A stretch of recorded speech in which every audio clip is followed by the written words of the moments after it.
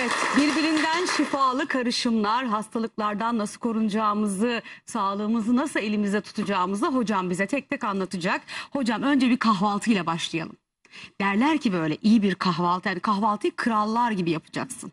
Evet. Dolu dolu olacak ki bağışıklık sistemin güçlü olsun. Siz ne diyorsunuz bu konuda? Kahvaltılarda kahvaltıda neler yenmeli? Evet e, ben e, Türkiye'nin Necip e, milletine saygılar sunuyorum. Dünyanın her yerinde Azerbaycan'da da çok izleniyoruz. Selam Dün- olsun. Dün İran, tanıtımımızı Azerbaycan. yapmıştım. O bir dakikalık size de attım biliyorsunuz. Hakikaten insanlar çok sevinçli. Pakistan'dan bile izleniyoruz. İran'dan çok Ay, izleniyoruz harikasınız. yani. E, Moldova o bölgelerden çok izleniyoruz. Türkiye bölgelerden. E, şimdi herkes ağzı olan konuşuyor. Heh, E, biz- başladık. Evet. E tabii yani ağzı olan konuşuyor. Şimdi şunu gördüm. Ben bir senedir falan ekranlara çıkmıyorum. Ee, biliyorsunuz kendi yazıyorum. Yeni Akit Gazetesi'nde televizyonda programlar yapıyordum. Şimdi onu da bıraktım. Yurt dışı Avrupa şubemizi inşallah. Ee, çocuklarım orada. Bir beni kıramaz. Evet, evet. Hakikaten indim Türkiye'ye. Baktım Evet. Nur Hanım arıyor. Hocam dedi bizi e, uzun süre bıraktınız. Hayır bırakmadık. Beraberiz. Baktık şimdi biz attık. Biliyorsunuz Elmas Hanım'da sevgi saygıları vardı Aleykümselam. size. Ben de buradan öpüyorum yanaklarından. Ee, biz biliyorsunuz 20 sene önce bu işleri başlattık. Attık. Kimse bu ülkede kantoron bilmiyordu. Zencefilin adını duyuyordu. Değil mi bu kürleri mürleri? Şimdi Elmas Hanım'la oturuyoruz. O attığımız taşı çıkarmak için uğraşıyor birileri. Hani buralarda da uğraşıyorlar böyle. Seviniyoruz. Güzel bir iş yapmışız. Ne güzel. Devletimiz de Önce tamamlayıcı. olmak güzel hocam. Evet tamamlayıcı tıp yasasında çıkarttı. Güzel bir şey Evet. oldu. Ee, yine ekmek çok konuşuluyor. Kahvaltı çok konuşuluyor. Baktım böyle izledim. Onu yemeyin. Yok olmaz. Şu olmaz. Yahu ne olmaz ya Allah bunu malayani yaratmadı ki. Yani yarattığı bir şey. Şimdi diyor ki bunu yemeyin. E Allah bunu yaratmış. Bunu öküz yemiyor. Arı yemiyor. Bunu bizim için yaratmış. Bunu yemeyin demek olmaz. Bu Allah'ın gücüne gider. Ne yiyelim peki hocam? Ha, ne Siz yiyeceğiz? söyleyin. Evet, onu Kahvaltıda söylüyorum. nasıl başlayalım? Şimdi sabah bir kere kahvaltı biz iki öğün yiyin diye Allah Resulü'nün iki öğün yemeği İki var. öğün. Tabii. Şimdi Vallahi hocam kusura bakmayın da biz de şaşırdık ne yiyeceğimizi ne içeceğimizi. Efendim, biri diyor siz 8 öğün, biri diyor 6 öğün, doğru biri diyor 3 adresten öğün. öğrenin. Bakın bu kitapsızlar var. Hani kit, yani kitap yaz eser. Şimdi ben e, şöyle size bunu takdim edeyim. Biz bunu yazdık 10 sene önce 100 bin baskıyla yazdık insanlara şifalı yemek, şifalı kahvaltı, şifalı salata, şifalı çorba nasıl yapılır? Bunları öğrettik millete. Biz konuşursak yazdığımız için konuşuyoruz, uyguladığımız için kon. Ben 440 yemeği kendim yaparım. Bak Harikasınız. hepsini tek tek yaparım. Onun için e, Vallahi ay- ben benim bile bir hazinemde yani kafamda 440 yemek yok. Şurada- Allah, yemin ederim. Şu kitapta 46 tane çorba var. 24 tane sadece meyve tatlısı var. Bakın şimdi. Yani şimdi bunlar birisi konuşuyor. Ya adama sormaz mı? Şimdi senin diyelim ki midende rahatsızlığın var. Doktora mı gidersin? Yok. Doktora, doktora giderim tabii hocam. Ama dahiliyeciye gidersin. Hatta gitmezsin gastroenteroloğa gidersin. Yani Evet. işin en uzmanını ararsın değil Aynen, mi? aynen. E şimdi adam çıkmış anlatıyor. Yemek ekmek yenmez. Süt işte şöyle olur. Yoğurt böyle kahvaltı böyle. Ya sen kimsin bunu nereden öğrendin? Kitabın var mı? Kitaplı mısın? Kitapsız mısın? Hani bir eserin var mı değil mi? Hani eşeğin semeri var. E insanın da bir eseri olması lazım. Vallahi özlemiş miyiz hocamızı? Türkiye televizyonlarında böyle gerçekleri pat pat çat çat söyleyen nadir insanlardan biri. Hocam tamam bırakın kim ne yapıyorsa yapsın. Biz ne yapacağız ona İşimize bakalım. bakalım diyorsun. Evet hocam işimize bakalım. Yani ehiline. bak, evet yine, kahvaltıda ne yiyelim? yine bir ayetle başlayıp devam edelim. Diyor ki bakın siz emaneti sahibine vermezseniz kıyameti bekleyin diyor. Bak çok önemli bu. Dediği için hastalıklar var. Emaneti ehline vereceksin. Yani bu işi bilen, yapan, uygulayan, edene. Demin hastalık meselesinde dediğimiz gibi. Şimdi nedir diyor soruyorlar bunu efendimize. Geldi hocam Ya, ekrana bak. Evde diyor, evde diyor e, hanım ehliyetsiz olursa evin kıyameti kopuyor. Bizim hanımlar Şirketin ehliyetli. başında ehliyetsiz bir genel müdür varsa şirket batmaz mı? Batar. Onun için biz bu işi yaptık, uyguladık. Şimdi burada onun için bu kahvaltı nasıl yapılır? Doğrusunu buradan öğrenin. Sen bir laf attın ya ben onun için bunları. Kimden öğreneceğiz hocam? Karıştı bu işler. Karıştırmıyoruz. Şimdi Tamam. doğrusunu söylüyoruz. Başlıyoruz. Günde bir kahvaltı yani günde bir kişi iki öğün yemek yiyebilir. Beden metabolizması buna uygun. Birileri ne der hiç önemli değil Nur Hanım'ın dediği gibi. Birincisi bunu. Peki sabah kahvaltısı diyoruz bir de akşam yemeği. Bakın iki tane. Sünnet olan da budur. Madem inanç yapımız var, bizim programımızı yapan bir yaratıcı varsa o bize bir kural koymuş. Şimdi bu makineyi kim yaptıysa bunun aksine çalıştırırsan bu parçalanır. E bizi de yatan bir yaratıcı var. Demiş ki kardeşim bir sabah yiyeceğim bir akşam yiyeceksin ve selam. Bitti. Sen günde 6 öğün, 7 öğün, 9 öğün ye dersen Allah'ın şefkat tokatını yersin. Ya hocam sabah bunların hepsini yesek 100 kilo oluruz. Organik Yemeyeceksin. yumurta, keçi peyniri, lor, manda yoğurdu, tere, kuzu kulağı, maydanoz, Bitir, devam siyez et. ekmeği, manda tereyağı, Evet. köy zeytini, pekmez, bal. Vallahi bunları yesem dünyanın en mutlu insanı olurum ben. Bunu niye yazdık biliyor musunuz size? Siz okuyasınız diye okudunuz şimdi. Bak bu çok ilmi siyaset. Ben siyaset profesörüyüm ama hani bu işi başkaları yaptığı için biz şimdi ot çöple uğraşıyoruz. Öyle diyorlar bize, senle bize. Ot çöp bunların işi diyorlar. Otsuz çöpsüz olmaz. Unutmayın bir kere. İnekler ot yemeseydi iki buçuk ton olmazdı. Hocam diyor bizim çocuk ne yiyecek et yeme onu. Ot, e, inekler ot yiyor diyorum kocaman danalar değil mi? E, tilkiler diyorum et diyor şu kadarcık hiç bundan büyük tilki yok. Bak bu düşündürüyorum. Efela takilun yetefekkerun. Hiç düşünmez misiniz? Hiç akıl etmez misiniz? Biz akıl ediyoruz. Bunu onun için yazdırdım. Şimdi bunun hepsini aynı gün yemeyeceksiniz. Bir, asla proteinleri karıştırmayacaksınız. Bir gün bir gün bitkisel protein yiyeceksiniz. Mesela bir gün ot salatası yiyin. Ne yiyoruz? Yani. Roko yiyoruz. Tere yiyoruz. Orada olduğu Kuzu gibi. kulağı, maydanoz. Kuzu kulağı yiyoruz. Maydanoz yiyoruz. Lahana yiyoruz. Kahvaltıda. Turp yiyoruz. Evet. Ben her sabah turp yiyorum. Tamam. Havuç yiyorum. Kabak yiyorum. Niye? Kabağı niye yiyorsun hocam? E tereyağını neye süreceksin? Ekmek yemiyoruz ya şimdi. Evet. E işte o kabağı alıyorum. Havuç dilimli yapıyorum böyle. Onun üstüne güzelce tereyağımı sürüyorum. Onu yiyorum. Kabağın. Kabağın. Hatta tost yemeyeceğiz mi hocam? Ye tostu. İki tane kabak dilimini alıyorum. İçine güzelce lor peynirini koyuyorum. Kabağı bastırıyorum üstten. Böyle bastırıyorum buradan. Buyur ye. Hocam samimi olun tadı güzel oluyor mu? Muazzam bir şey. Geçen gün Ali Coşkun Bakanım aradı eski biliyorsunuz Sanayi Bakanı. Ya dedi hocam dedi bizim hanım duymuş senden dedi her gün evde dedi şey kabaktan dedi tost yiyoruz dedi. Yarın sabah Ama ilk dedi işim çok kabaklı tost sağlıklı. yapmak. Kesinlikle tavsiye ediyorum. Tam mevsimi kabak müthiş bir şifa. İçinde eee, bağırsakların peristaltik hareketini yapmak için çok önemli maddeler var, lifler var.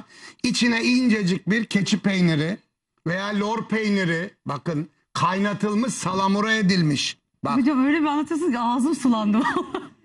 ya bir deneyin ince bir dilim kabak. Bir daha koy içine koy makineye. Sık bunu ye kardeşim bunu ya. Bu şifa işte. Kahvaltı diyorlar ya buyur sana kahvaltı bir. Şimdi dedik ya bir gün bunları yedik. tamam. Bir gün ne yiyorsunuz? Bakın bu aynı şekilde akşam yemeğiniz için de geçerli bu protein karıştırma. Gidiyoruz restorana. Abi bir türlü yapsana hani karışık kebap. Tavuğu var, kazı var, kuzusu var, keçisi var. Her türlü olmaz kardeşim. Bir de yanına balık koyuyor bir tane. Yiyemezsin bunu. Beden metabolizman bunları kabul etmez. Niye etmez? Bak şimdi niye değil mi? Bir şeyin sebebi. Hastalıklara ilaç vermek çözüm değil. Sebebini araştırmak. Sebebi ortadan kaldırmadan hastalıkları çözemezsin. O zaman şehir hastaneleri olur. Yani gıdamızda kötü beslendiğimiz için mi hastalıklar artıyor? Kesinlikle sebebi bu metabolik balansınızı bozuyorsunuz. Metabolik balans nedir? Metabolik balans bedenin bir balansı vardır. sıvı Arabaların dengesinden balansı tut. gibi. Tabii ayarı vardır. Şimdi tekerlerin ayarını yapmazsan araba böyle şey gider. Sen de öyle gidiyorsun. Hastalık bu demek Hocam işte. benim balansım Yani siz ben bu Anlaşılıyor tarafa dönmek dışarıdan? istemiyorum size saygımızdan dolayı anlatırken ben ekranı anlatıyorum. Yok çok samimi bir şey söyle- soru Buyurun. soracağım. Şimdi hepimiz balansımızın bozuk olduğunu nasıl anlarız? Evet.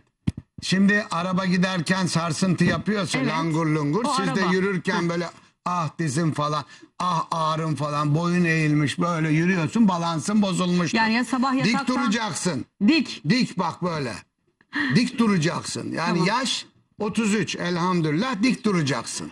Hocam ama bir şey söyleyeyim mi size? Sizin için de diyorlar ki ekranda ama gerçek yaş- yaşamda öyle değil. Hocamın da göbeği var diyorlar. Onu diyene bir gün bu elini yakalamıştım. Şimdi ismini çekmeyeyim sen de Evet, biliyorsun. tamam, biliyorum. Canlı yayında tuttum getirdi baktı. Aa hocam dedi kasmış dedi. Evet.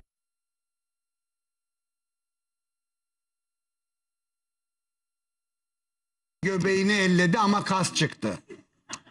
Şimdi biz bunları... Söyleyin hocam kim olduğunu. Yok söylemiyorum. İsmi bile lazım değil. Gerek yok. Anladık zaten herhalde. Evet yani e, şimdi demek istediğim şu aynesi iştir kişinin lafa bakılmaz. Doğru. Ben bu kadar ömrümde sa- o 40 yıl devlette çalıştım. Sağlık karnemde bir tane elhamdülillah ilaç yoktur. Bak. Birileri konuşur birileri yaş. Benim çocuklarım ailemi tanıyorsun. Evet, evet. Hepsi çocuklarıma biri doktor biri yine hepsi yani tıp sahasında biri terapist biri uzman terapist. Hepsi de hepsi de sağlıklı hiç hastalanmadan büyüdüler. Çok şükür. Konuşmaya lüzum yok. Bak işte bunu nereden oluyor? Bu kahvaltı. Demek ki birinci de kahvaltıda bir gün ot yedik. Tamam. İkinci gün peynir yiyoruz. Bakın ne yiyorsunuz? Ben peynir deyince peynir çok sıkıntılı. Bir süt ürünü bir kere süte alerjiniz var mı bakacaksınız laktoza karşı. Buna bakacaksınız. Yoksa ki var bugün pek çok kişinin süte alerjisi var bakın. Büyük hastalıklarınızın bağışıklık düşmesinin ana sebebi bağırsaklar yapışıyor. Süt mukustur. Süt içilmez. Bakın süt içmek Bugün hangi süt? Kara malın ineğini bul içelim. Ama Montofon, Holstein hani Hol diyor yani falan. Hani şimdi bunlar inek değil ki. yani Allah'ın yarattığı inek var bir de devşirilmişler var. Şimdi Hocam burada öğle yemeğine geçelim mi? yani ne olur inek bilgisi almadan rica Hayır edeceğim. bunlar önemli bu işin altyapısı var yani. Şimdi bana diyorlar süt iç. E Allah Resulü süt için dedi. Dedi de Allah Resulü nerede dedi bunu? Medine'de Mekke'de gölgede 65 derece. 65 derecede inek yaşar mı? Yaşamaz. Deve yaşar, keçi yaşar. Deve eti, keçi sütü, deve sütü içelim. Peki. Tamam mı? Ama süt ürünü mutlaka lazım. Tereyağı yiyeceksiniz. Bak mutlaka her sabah o havuçun, o e, turpun, o kabağın üstüne sürerek tereyağını yiyeceksiniz. Biz öyle yaşıyoruz. Bir. iki lor peynirini yiyeceksiniz. Üç.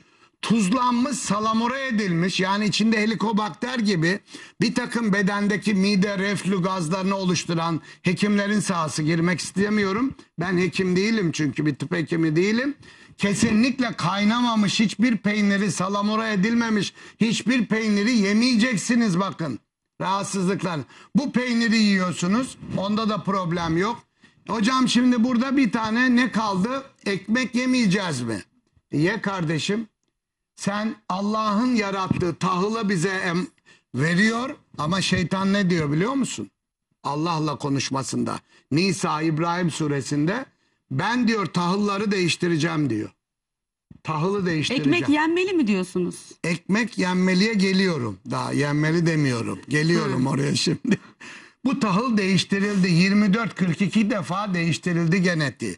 DNA'sı 14 olan Nuh'un gemisinden çıkan siyez diye gluten oranı insan bedenine metabolizmasına uygun olan siyez unundan yapılmış ekmeği günde bir dilim yemenizde bir mahsur yok. Gluten oranından dolayı. Çünkü ne yapıyor? O içindeki mayalar ve emilgatörler bedeninizi yapıştırıyor. Hakikaten biz tarlada çalışsaydık ekmek yiyelim. Biz eee, imeci yapardık. Ekin imecisi 40 kişiye makarna doğrardık. Herkes makarna yerdi. Sağlıklıydı ama niye biz yiyemeyin diyoruz şimdi? Niye yemeyin diyoruz? İçine 17 tane emilgatör var. İçinde sistein 920 var. Çinlinin kılı var içinde. Ay hocam hayattan soğuttunuz bugün beni. yemin. Mayasında domuz var kılı mı? Mayasında domuz var mı? E buna bakmak lazım. Sayın Cumhurbaşkanı ben Beyaz TV'de program yaptım. Evet. Bak. Beyaz TV'de program yaptım. Şimdi bir kanalda sabah sunuculuğu yapıyor. 3 hafta ekmek programı yaptım. Bu kanalda Sayın Cumhurbaşkanı Recep Tayyip Erdoğan özel kalemi aradı dedi ki Sayın Cumhurbaşkanımız mesajı aldı. Yarın müşiyattaki toplantısında açıklama yapacak hocam lütfen yeterli dedi bu kadar. Hakikaten açıkladı Cumhurbaşkanı. Dedik kardeşim bütün dünya dedi siyah ekmek yiyor. Kepekli, kabuklu, hani ruşeymli. Biz niye yemiyoruz? Aynen sözleri var. Keşke o program bulup yayınlasalar Erkan Tan'la. Evet hocam. Şimdi- Erkan Tan'la programımızda. Ne oldu? Düzeldi mi? ama arttı siyah ekmek yeme oranı arttı, Arttı. yani. Tabii arttı. Yetmez dedik. 17 emülgatör var Sayın Cumhurbaşkanım dedik. 3 gün içinde öbür hafta dedi ki bu 17 emülgatör de kaldırılacak dedi. Bakın ülkesine kaygı duyan bir başbakan, bir cumhurbaşkanı. Ve şu anda bir düzenle var mı? E işte bana yani göre. hocam ekmek bu kadar mı etkili diyorsunuz Bakın yani? bir cumhurbaşkanı bunu söylüyorsa Nur Hanım. Bak bir ülkenin cumhurbaşkanının ne kadar derdi var değil mi? Evet. Çıkıyor diyor ki siyah ekmek yiyin kardeşim diyor. Emilgatörleri çıkarın diyor. Bak bu mesaj. Peki oldu mu altta bu şeyler? Ben olduğu kanaatinde değilim. Fırından kalktı, fabrikalara gitti. Yine biz beyaz ekmeği yiyerek midemizi yapıştırıyoruz. Gluten oranlarıyla neslimiz yok oldu. İşte bu ekmeğe biz karşıyız. DNA'sı 14 olan kara kılçık siyaz Anadolu'nun ata tohumlarını da söyleyen Sayın Cumhurbaşkanı yine. Evet. Emine Hanım her katıldığı yerde ata tohumlarından bahsediyor. Biz bunları yaşatıyoruz ve günde bir dilim bundan alıp yiyoruz mutlu şekilde. Onun üstüne de tereyağı sürebilirsiniz Tereyağı sürüyoruz, diyoruz. peki. E peki hocam çay içmeyeceğiz mi? İçeceğiz. Yeşil çayımızı içeceğiz. Sadece yeşil çay değil. Her gün bir gün kantaron, bir gün mürver. Bakın değişik bütün kainatta yaratan bir gün ayva, bir gün atıyorum elma çayı. Bunları değiştirin. Niçin? Bir bedene lazım olan 84 mineral var. Bu eser elementler var. Bunlar nereden elde edilecek? Tek düze yaşarsanız bunları alamazsınız. Onun için değişik çaylar, yeşil çay ağırlıklı bu Evet. çayları da içiyoruz. E tatsız mı içelim, şeker koymayalım mı? Yazdık oraya bakın bal. Tabii bu 5 kilosu 100 liraya satılan Türkiye'nin ve dünyanın en tehlikeli vurucu gücü neslimizi yok eden karaciğer bozukluklarının, astım, alerjinin, tip 1, diyabet 2'nin sebeplerindeki en büyük şey mısır şurubudur. Nişasta bazlı şekerdir. O da o kötü ballarda bulunuyor değil Kötü mi? balları onunla yapıyorlar. Kötü ben bal, kötü şekerler, kötü reçeller. reçellerin ben size söyleyeyim bir pastanede kullanılan ürünlerin %90'ı bunlardan yapılıyor. Ya Açın.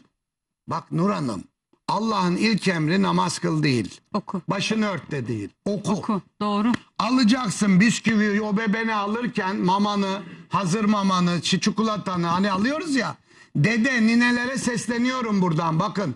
Dedeler, nineler o bebeler torunlarınıza giderken o çikolataları alırken eline al ihanet etme. O çocuk tip 1 2 diyabet astım olursa neler oluyor biliyor Aç oku.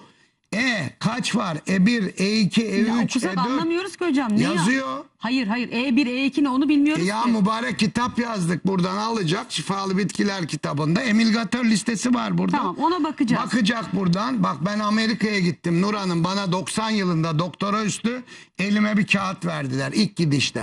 Sen Müslümansın bunlarda domuz var sakın yeme. Şunlar zararlı. Bulamazsan da git Yahudi dükkanından alışveriş yap dediler. 30 sene önceden bahsediyorum ya. 30 sene. Lütfen duyarlı olun. Bak bir çocuğunuz hasta olursa ondan kurtuluş yok. Ah hocam. Kortizonlar. Ne yapıyoruz? Bal yiyoruz. Bir gün ben balı aradım bu 5 kiloluk balcıyı. Nerede üretiyorsunuz bal dedim. Kardeşim sen dedi bal mı istiyorsun üretim yeri mi? Neredesiniz dedim. Ankara'da sanayideyiz dedi. Ya sana Nasıl arıları sana- nereye koyuyorsun? Sanayide bal mı üretiyorlar? Sanayideyiz dedi yerimiz. Oo. Dedim arıları nereye koyuyorsunuz sanayide? Kap ortaya. Ya dedi sanayide arıya ne lüzum var dedi. Nişastayı alıyor. İçine şey Aa. içine asit evet. Sayın Tarım Bakanımız Biz de ucuz ucuz. selam olsun buradan. Yayınlıyorlar şimdi biliyorsunuz. Eyvah, Bekir eyvah. Pakdemirli Peki. kardeşimin talimatıyla bütün şeyler yayınlanıyor. Hocam. Kim tahsis yapıyor, kim yalan iş yapıyor. Bunlar çok önemli. Onun için siz balınızı yiyin diyoruz. Gerçek İşte kahvaltıda bunları kullanabilirsiniz. Dediğim gibi sadece karıştırmayın. Ama yumurta mutlaka bir proteindir. Alerjiniz yoksa karaciğeriniz sağlıklı ise her gün çocuklarınıza bir yetişkinler gün aşırı hani protein değişikliğinde bir gün peynir yediyseniz öbür gün yumurta yiyin. Hatta onu tereyağının içine kırıp da pişirerek de yiyebilirsiniz. Mis. Bir dilim de Peynir- siyez ekmeği. bir dilim de siyez ekmeği ve yerine de peynir olarak da altını çiziyorum. Bak bu çok önemli halk sağlığı için. Kaynatılmış, salamura edilmiş kesinlikle. Hatta en ucuz hocam bunlar çok pahalı keçi peynir. Kardeşim sütü al, kaynat, iki damla limon damlat, kes sütü, kesiğini kullan. Lor dediğimiz. Çok da güzel oluyor. Müthiş sağlıklı Evet. bir peynir. İşte buna bir iki yumurta kır. Veya bir gün değiştir bunu içine işte rokotere maydanozu doğra güzelce bunu ye. Bütün minerali almış oluyorsun. E daha kahvaltı ne lazım? Hocam sabah sabah bir iştahımı açtınız ki sormayın yani. Ha et Tahini yemeyeceğiz mi? pekmezi balı.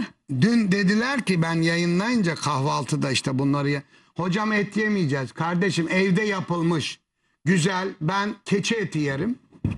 Manda malak yavrusu yerim. Deve bulamıyoruz ve kuzu yerim. Bunlardan ben ma sucuğumu kendim yaparım. Hocam buluyorsunuz ki yiyorsunuz Ama yani. çok Şimdi. ucuz bak bunlar söylediğim Nerede şeyler. ucuz hocam? Markete gidiyorsunuz et alıyorsunuz. İşte Alma dana eti niye var. markete niye gidiyorsun? Market pahalı pazara gideceksin. Pazar Pazarda bedava. et var mı hocam? Et alma pazardan. Pazardan et Hocam alma. konumuz et şu anda. Değiştirmeyin konuyu. Kolay değil. ho- Ya hocam şunu anlatmaya çalışıyorum. Kolay değil. Ben de isterim manda yiyeyim. Ben de isterim keçi yiyeyim değil mi? Bak manda eti, koyun eti, kuzu eti, dana eti 60 liraysa manda eti 40 lira, 30 lira biliyor musunuz tutulmadığı için. Bütün dönerlere size şey koyuyoruz diyorlar yani böyle. Çoğunda şimdi söylemek istemiyorum yani. Bana göre çok faydalı manda malak eti koyuyorlar. Ve çok sağlıklı çünkü niye? Mandaya iğne vuramıyorlar. Hormon veremiyorlar. Kabul etmiyor hayvan. Doğada yaşadığı için mandayı odada yetiştiremiyorsun. Bak, Daha vallahi bu kulaklarımız daha neler neler işte duyacak. siz aslını Yani çok ciddi bir gıda terörü var aslında. Çok Evet. ciddi bir gıda terörü bravo var. tebrik ederim. Bunu bir alkışlar mısınız ilk defa böyle.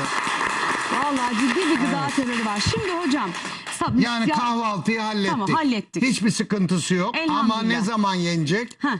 Kahvaltı bak açlık çok önemli. Allah'ın Celle Celaluhu bizim orucumuza ihtiyacı yok. Namazımıza ihtiyacı yok.